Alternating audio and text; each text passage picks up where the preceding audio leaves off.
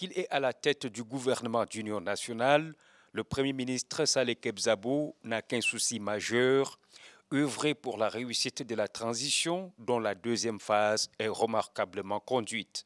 C'est ainsi qu'en sa qualité de président du Haut Comité des pilotages, chargé de la mise en œuvre des recommandations et résolutions du dialogue national inclusif et souverain, Saleh Kebzabo saisit toutes les opportunités pour faire le point de l'évolution du processus de transition.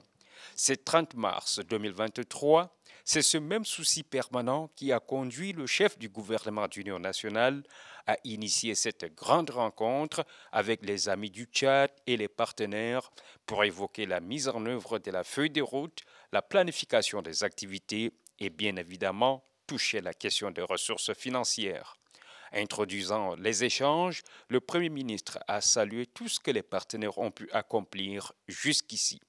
Toutefois, tout n'est pas rose, relève-t-il.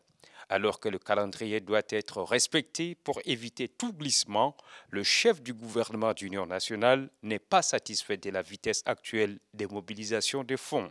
On a un calendrier que nous devons respecter. Et le premier de ces calendriers, qui est pour nous le plus important, c'est l'organisation du référendum en octobre.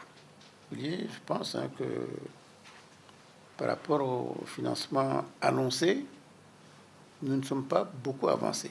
Nous sommes en train de rechercher encore un complément de l'ordre de 3 millions de dollars et qui va vous demander peut-être de, faire encore un effort euh, supplémentaire ou d'amener d'autres à nous rejoindre.